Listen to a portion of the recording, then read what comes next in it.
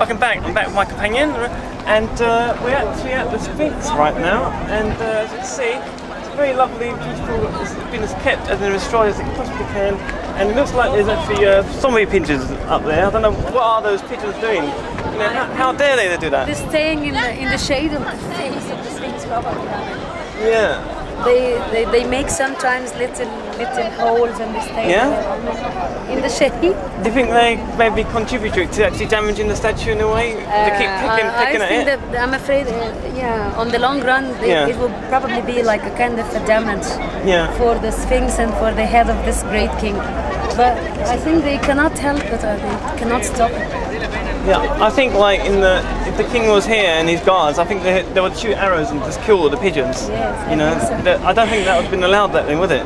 No, they would have never allowed that to happen. yeah. That was the king and the god for them. Yeah, that's a great deal of disrespect by those pigeons. Yeah. So it's cute, but I mean, uh, the nest to make there, the doo doo. Um, how long did that sphinx actually take to make then? Uh, it was just fashioned and carved. I think it was like carved fully and polished and painted Yeah. in like a year. A year.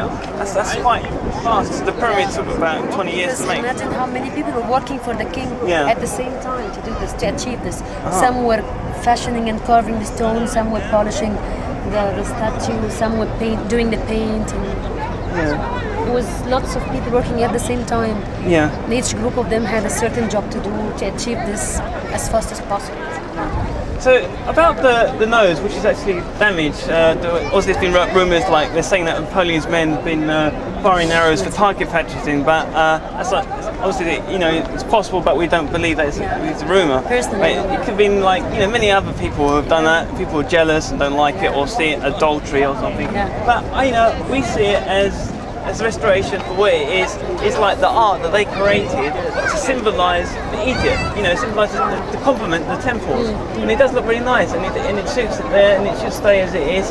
And eh, I mean, if, if it prevents it from uh, from actually collapsing or sinking down to the ground by actually restoring it, like by working on it, even I know it, kind of spoils it the image. I know the art, art, architect won't want it to sing, but I, I know that he won't want it um, maybe yeah to restore and stuff.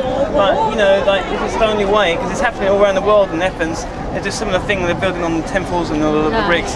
They're restoring it, you know, to keep it up. Otherwise, if it don't, it's all it's all going to collapse. So it's, it's best, and, and even like looking at it, it still looks, you know, authentic as it can possibly be. And you, most people wouldn't know unless they've actually been told, unless you see it see it from it. But it's very nice. Uh, you know, we had a great time out here, and we're looking at some more things, aren't we? Yeah.